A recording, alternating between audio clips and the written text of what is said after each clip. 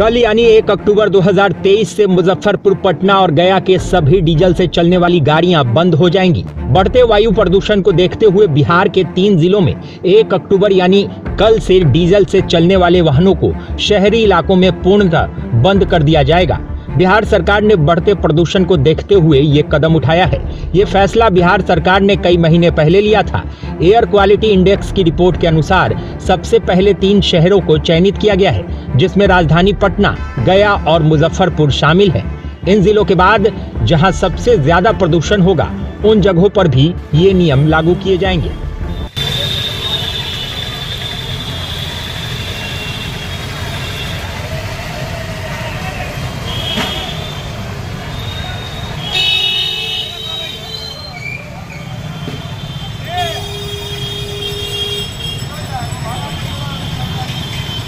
अपने सपनों की आशिया को दे एक नई पहचान माँ भवानी डेकोर प्राइवेट लिमिटेड के साथ जो है ऑथराइज डिस्ट्रीब्यूटर ऑफ़ कजारिया देश की मिट्टी से बनी टाइल से देश को बनाते हैं। और जहाँ मिलती है सभी प्रकार के Indian and imported granite marble sanitary एवं कोटा स्टोन का अनोखा एवं आकर्षक संग्रह। माँ भवानी डेकोर प्राइवेट लिमिटेड मतलब a complete floor solution new zero mile Dadar road Muzaffarpur call double nine three four seven five three triple one